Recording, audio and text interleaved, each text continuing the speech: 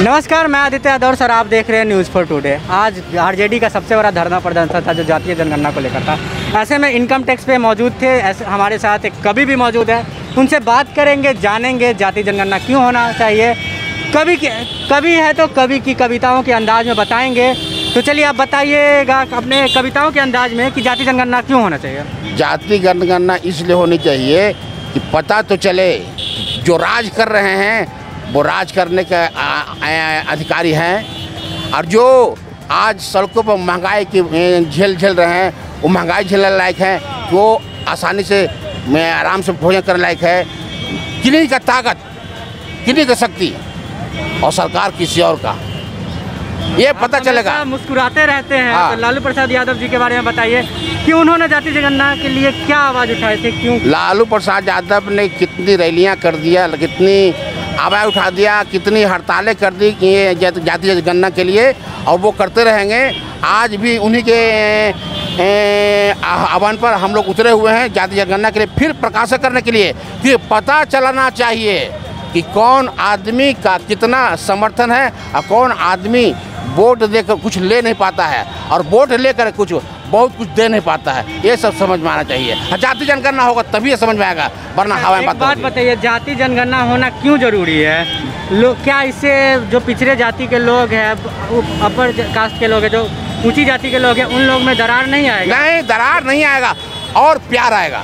बात समझिए। मतलब ये यहाँ तो साफ़ पता चल जाएगा कि छोटे जाति के इतने संख्या वाले हैं बड़ी जाति के इतने संख्या वाले हाँ। हैं तो क्या इससे उन लोगों में नहीं होगा कि हम बड़े जाति के हैं तो उनको दबा के रखें छोटे जाति के उनसे ज़्यादा संख्या तो नहीं ये समझ में आएगा कि छोटे जादो जाति की संख्या बहुत ज़्यादा है जिससे हमको वोट मिलता है मत मिलता है।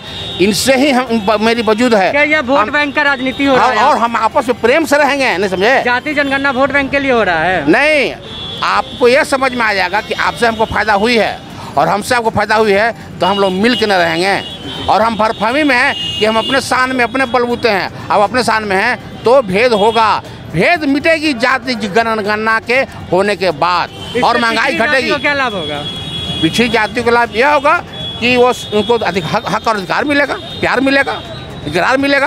आप कभी है तो कविताओं के अंदाज में कुछ सुना दीजिए। मैं कहना चाहता हूँ एक दिन मौत आएगी सब लूट के ले जाएगी हाथों को कर देगी खाली उससे पहले बना ले हम सब देशवासी मिलकर। एक साथ हर दिन को होली दशहरा, हर रात को सुनहरी दिवाली। मैं बताना चाहता हूँ और मैं समझाना चाहता हूँ, जो आग हमारे सीने में है 135 को जनसंख्या में लगाना चाहता हूँ। मैं 20 परसेंट ही काम करता हूँ, अपने बीवी और बच्चों खिलाने के लिए, पर अस्सी परसेंट गाँव गाँव गली गली चौक चढ़ा जाता हूँ, सोए व्यक्तियों को जगाने के लिए, क्योंकि आज पैसे की ज़रूरत नहीं है। भूल में है लोग, दादा के पास बहुत कम पैसे थे, फिर भी संतोष थे, दम थे। आज पैसा ज़्यादा है, फिर भी अभाव का वादा है। आज के डेट में जगाना ज़रूरी है और मैं जगाने के लिए निकलता हूँ और सबको जगाऊँगा। यकीन मानिए, मेरी हार्दिक इच्छा है, मैंने ऐसा ठाना है, जमाने में जितने भी हथियार हैं, सब में जंग लगाना है। इतनी प्रेम और शांति की वातावरण बनाएँगे कि बहुत जल्दी धरती पर स्वर्ग उतार कर लाएँगे और मेरा ये विचार है, इस देश में जितने भी लोग रहने वाले हैं, हिंदू, मुस्लिम, सिख, ईसाई, सब मेरे दिल में बसने वाले परिवार है। सबको एकता की माला पहनाएँगे, तभी तो धरती पर स्वर्ग उतार कर लाएँगे और हर किसी को एक घाट पर बाघ बकरी को पानी पीना सिखाएँगे। जी अपना परिचय दीजिएगा। जी मेरा नाम है विनय बिहारी। मेरे ज़िंदगी में तब था नाभ है न आगे भी लाचारी जब भी मैं मुँह खोलूँगा प्रेम की वाणी बोलूँगा जब भी किसी से बात करूँ यह बात को ध्यान रखूँ। सामने से बात सुनने वाला चाहे कोई भी हो दोस्त हो या दुश्मन हर किसी को प्रेम और सिरे से बात करूँ। जी, धन्यवाद। जैसा कि आपने देखा, इनका कहना है, जाति जनगणना होना चाहिए। लालू यादव ने काफ़ी आवाज़ उठाई थी। जाति जनगणना मंडल कमीशन ये सब के बारे में।